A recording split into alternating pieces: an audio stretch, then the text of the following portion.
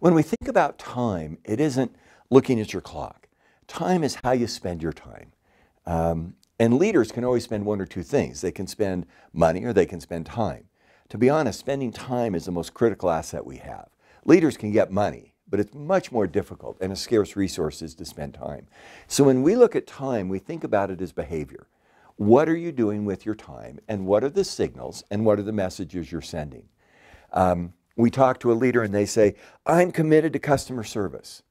In the last 90 days, how much time did you spend with customers? How much customer service data did you look at? And if their time doesn't reflect their desired goals and outcomes, then they're going to be hypocrites. People measure us by how we spend our time. And when we work with leaders to sustain change, it isn't an aspirational statement. I want to do a better job shaping a vision. I want to do a better job engaging others. I want to do a better job building teams. It has to show up in your calendar related to time.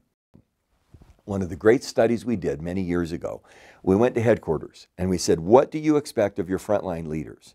And they gave us expectations. We went to the frontline leaders and we said, How much time would it take you to do that? And their answer was about 120 hours a week. The corporate headquarters expectations were so far away from the reality of what their frontline leaders faced that there was no coordination. Then we actually went to the frontline leaders and we said, Where do you spend your time?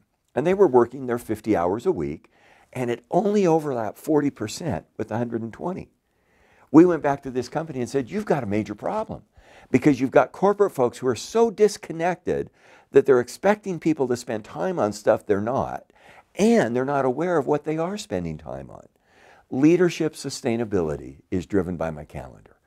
And if I can manage my calendar in a personal way, I'll be much more successful. It shows up in our personal lives as well.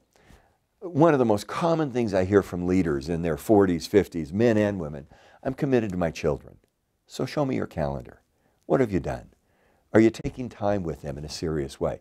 Now we know that that's not easy, but we also know that if we don't invest that time, and you can't delegate it, well, I've got a babysitter and they're in good hands. No, we've got to spend that time. And that's what leadership time is about. Are we putting our time on the things that are most critical to those we care about?